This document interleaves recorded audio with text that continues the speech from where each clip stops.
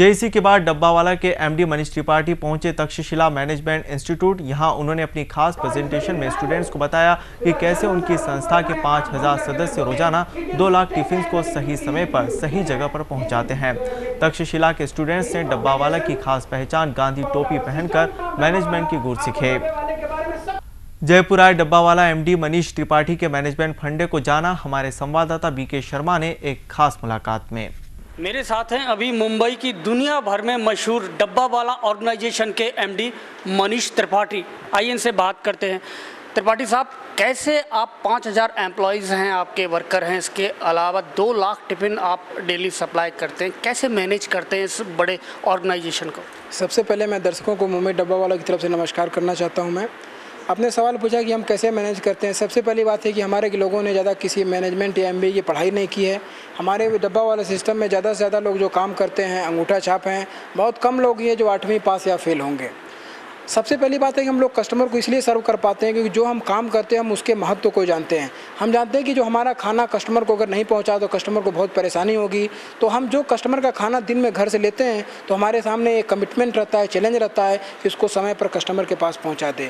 इसी कारण से हम लोग पाँच हज़ार जो डब्बे वाले हैं, हम लोग तीस से चालीस लोगों का ग्रुप बनाते हैं और हम लोग एक एरिया में काम करते हैं। यानी कि जो सारा काम है, तीस चालीस लोग ग्रुप बना करके काम करते हैं, वही डिसीज़न मेकिंग करते हैं और छोटा ग्रुप होने के कारण वो क्विक डिसीज़न मेकिंग लेते हुए हैं और अपने जो बिलीव सिस्टम है, अन्नदान, महादान उसका पालन करते हुए मुंबई की जनता को सर्व करते हैं।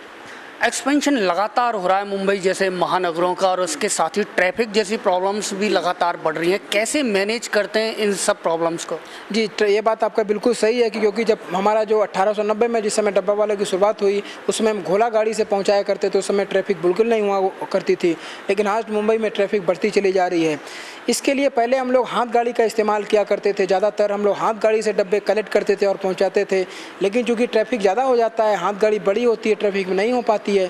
इसलिए एक परिवर्तन हमारे अंदर यह आया है कि हम ज़्यादा ज़्यादा हम साइकिल का इस्तेमाल करते हैं। क्योंकि साइकिल का इस्तेमाल करते हैं तो ट्रैफ़िक के बीच में से हम कभी भी निकल जाते हैं और उसमें रेड लाइट और नो एंट्री के कारण आरटीओ की प्रॉब्लम भी नहीं होती है।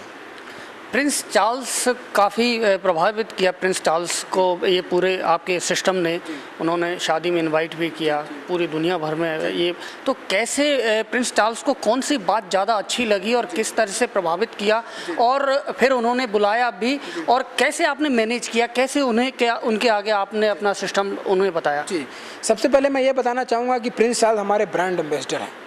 क्योंकि प्रिंस चार्ल्स के आने से पहले मुंबई की जनता ने या भारत की जनता ने या विदेशों में डब्बे वालों का उतना नाम नहीं था। हम काम वही करते थे डब्बे पहुँचाने का। लेकिन फिर भी हमको समाज में उतना सम्मान नहीं मिला। हम धन्यवाद देना चाहते हैं प्रिंस चार्ल जी को, जो कि हमसे मिले। उसके बाद भारत की जनता ने में हमको जाना और पूरी दुनिया में हमारा नाम हुआ। प्रिंस चार्ल्स को आप ब्रांड एम्बेसडर के तौर पे आप पेश करते हैं, क्या उन्हें ये जानकारी है और क्या उनकी कोई परमिशन ली हुई है इसके देखिए, क्या होता है कि राजा को पता नहीं रहता कि वो क्या काम कर रहा है तो राजा तो अपना काम करता है कि प्रिंस चार्ल्स हमसे मिलने आए। प्रिंस चार्ल्स को मिलने के पहले उन्होंने ये नहीं सोचा कि उसके मिलने से डब्बा वालों के ऊपर क्या फ़र्क पड़ेगा।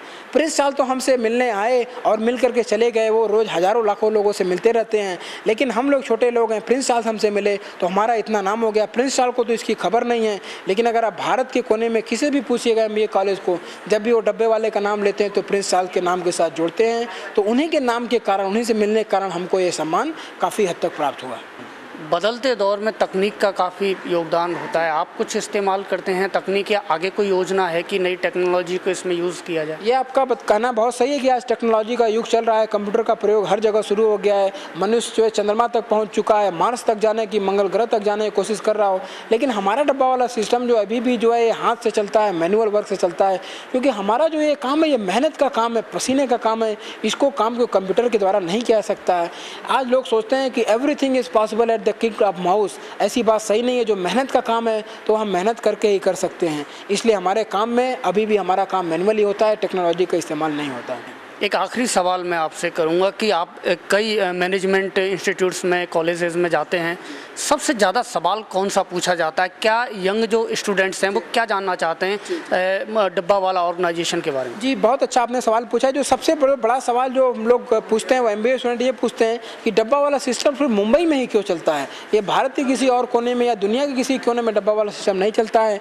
तो मैं उनका जवाब तीन रूप से देना चाहता हूँ। पहला रीज़न ये है डब्बा वाला सिस्टम मुंबई में सिर्फ़ इसीलिए चलता चलता है, क्योंकि मुंबई की जोग्राफी सिर्फ़ एक डायरेक्शन में, विरार से लेकर चर्च गेट तक, कल्याण से लेकर सीएसटी तक थाना से पनवेल से लेकर के सीएसटी तक एक डायरेक्शन में है, और कोने कोने इसलिए है। दूसरा रीज़न है लोकल ट्रेन सिस्टम मुंबई की लोकल ट्रेन सिस्टम सबसे रिलायबल है और मुंबई के कोने कोने पर जाती है और उसमें इतनी भीड़ रहती है कि लोग अपना खाना लेकर खुद नहीं चढ़ सकते, इसलिए डब्बे वाला से लेना चाहता है। और आखिरी में जो बड़े गर्व के साथ मैं उसका कारण देता हूँ कि मुंबई डब्बा वाला सिस्टम सिर्फ़ मुंबई में इसीलिए चलता है क्योंकि हमारे पाँच हज़ार जो मराठा की सेना है, जो मराठा सिद्धांत को पालन का करते हुए, जो शिवाजी महाराज को अपना आदर्श मानकर करते हुए हम लोग एक ही रूप में काम करते हैं यूनाइट होकर काम कर सकते हैं ये हमारी सबसे बड़ी ताकत है।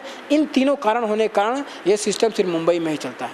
शुक्रिया त्रिपाठी साहब। आपको भी और सभी दर्शकों को मैं भी मुंबई डब्बा वालों की तरफ़ से धन्यवाद देना चाहता हूँ जिन्होंने हमको अपना समय दिया। धन्यवाद।